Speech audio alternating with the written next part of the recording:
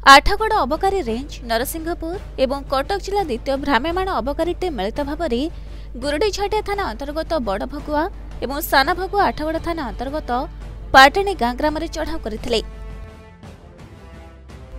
ତେବେ ସମସ୍ତ ସ୍ଥାନରୁ ସାତଶହ ପଇଁତିରିଶ ଲିଟର ବେଆଇନ ଦେଶୀ ମଦ ଜବତ କରାଯିବା ସହିତ ଆଠ ହଜାର ଛଅଶହ ଦଶ ଲିଟର ମଦ ପ୍ରସ୍ତୁତ ନିମନ୍ତେ ଗଚ୍ଛିତ ରଖାଯାଇଥିବା ପୋଚକୁ ମଧ୍ୟ ନଷ୍ଟ କରିଛନ୍ତି। ତେବେ ଚଢ଼ାଉ ପୂର୍ବରୁ କୌଣସି ସୂତ୍ରରୁ ଖବର ପାଇ ମଦ ପ୍ରସ୍ତୁତକାରୀମାନେ ଖସିଯିବାରେ ସକ୍ଷମ ହୋଇଥିଲେ।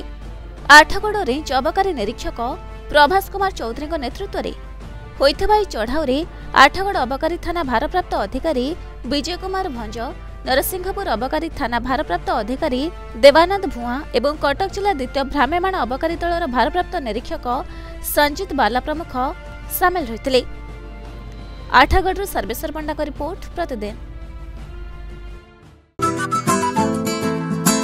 जैसे लोगों को विश्वास है कि मेरे रेस्टोरेंट में बढ़िया खाना मिलता है वैसे ही घर हो या रेस्टोरेंट मुझे विश्वास है मेरी बेटी के जबान के चटकारे क्योंकि इसे टेस्ट और स्वाद की बहुत पहचान हंड्रेड परसेंट नेचुरल इंग्रेडिएंट से बना मेरे जायके का सीक्रेट परिचय मसाला क्योंकि इसमें है प्रकृति का स्वाद। परिचय मसाला। जायका ऐसा माँ के हाथों जैसा। ଆମର ଏହିପରି ଭିଡ଼ିଓ ଦେଖିବା ପାଇଁ ଆମ ଚ୍ୟାନେଲକୁ ଲାଇକ୍ ସେୟାର ଏବଂ ସବସ୍କ୍ରାଇବ୍ କରନ୍ତୁ ଓ ଆମ ବେଲ୍ ଆଇକନ୍କୁ ବଜାଇବା ପାଇଁ ଜମାରୁ ଭୁଲିବେ ନାହିଁ